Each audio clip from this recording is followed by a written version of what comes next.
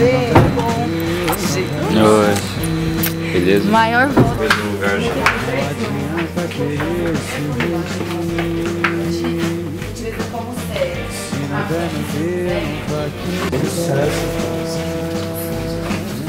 Na ilusão de que um dia ela vai voltar. Mas se de repente ela te telefona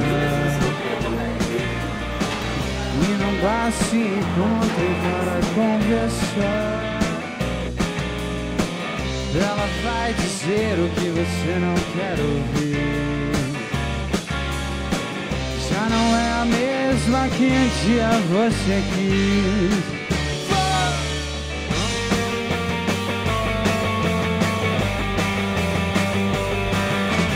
Foi muito legal receber a Tour dos Sabonetes aqui em Araraquara. A gente trabalhou bastante na divulgação para que a galera viesse mesmo conhecer essa banda. Muita gente veio é, porque já conhecia, foi muito interessante. Um público diferente também que a gente não tinha costume de encontrar aqui no bar.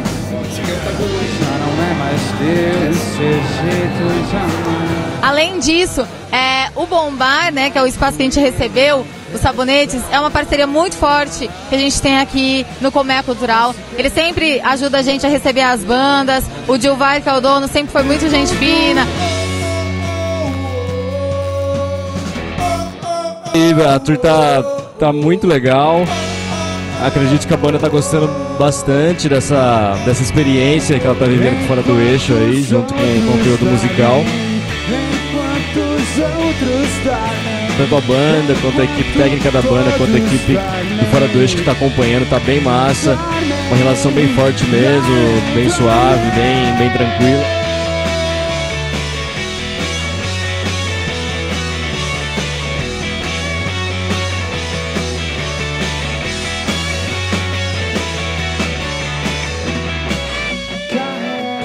Só se fala em sabonetes lá em São Carlos, o tempo todo. Sabonetes surgem em todas as conversas a gente está muito ansioso.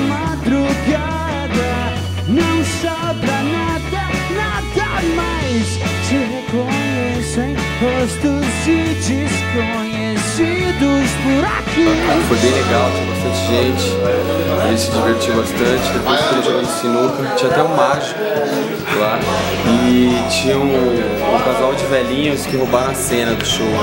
Eles ficavam, eles ficaram dançando o show inteiro e o velhinho pegava a perna da velhinha e levantava aqui em cima assim e ficava fazendo aqui na guitarra.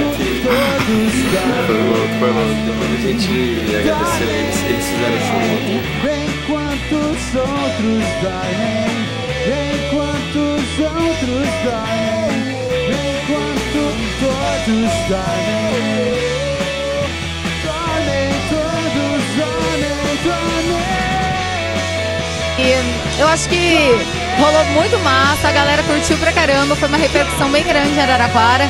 E espero que eles voltem mais vezes.